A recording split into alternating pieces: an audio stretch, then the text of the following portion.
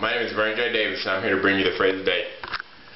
Today is Wednesday, September 23rd, and the phrase of the day is, we're cutting back on gas, but I still had baked beans today. Bye-bye.